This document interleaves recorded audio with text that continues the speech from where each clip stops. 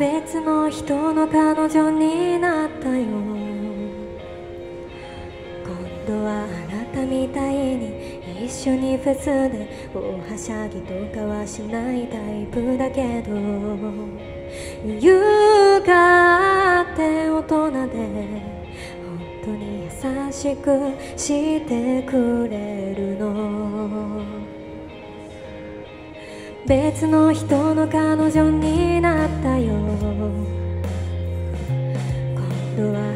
みたいに映画見てても私より泣いてることなんてないしどんなことにも詳しくて本当に尊敬できる人なの。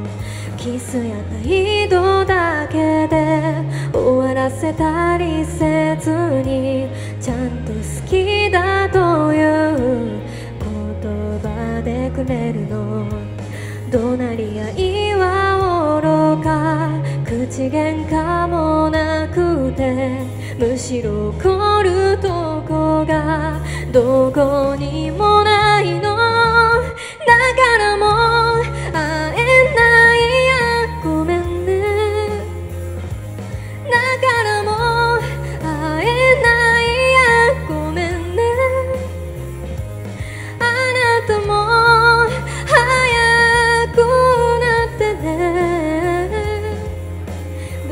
の人の彼氏に。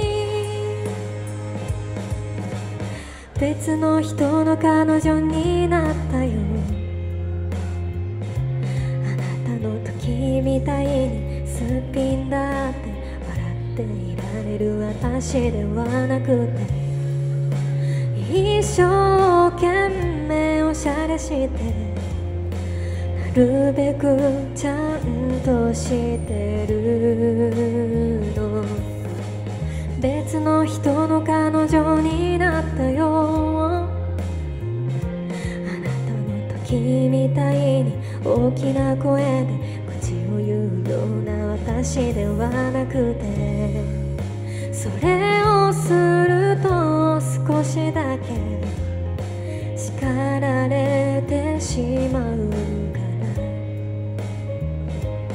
夢や希望とかを語ることを嫌ってちゃんと現実をね見つめていて正しいことだけしか言わないからずっとさら